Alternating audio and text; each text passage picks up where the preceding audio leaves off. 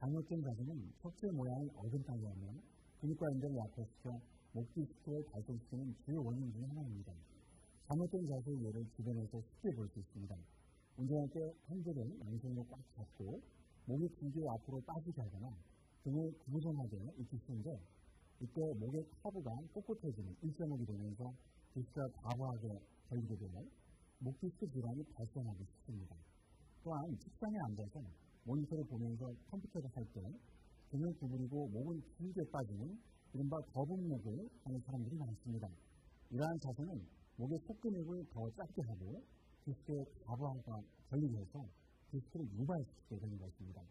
특히 컴퓨터를 사용하다 보면 자신도 모르게 의자에 반쯤 누운 자세로 팔만 뻗어서 키보드를 치기도 하고요.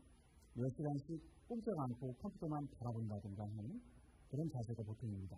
이런 자세들이 목 디스크 질환을 만드는 가장 안 좋은 습관 중 하나입니다. 자신이 목 디스크 질환의 전조인 거북목인지 확인하고 싶다면 똑바로 선 상태에서 뒤의 중간을 출발점으로 아래쪽으로 가장 수직선을 그어보세요. 그 선이 어깨 중간점이 아닌 어깨 앞쪽 2.5cm 가량에 닿는다면 거북목 증후군을 조심해야 하며 5cm 이상이면 거북목이 이미 와 있는 상태라고 볼 수.